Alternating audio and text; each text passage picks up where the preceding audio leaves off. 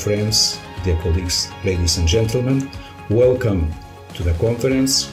Have a great event and enjoy the time together. Thank you.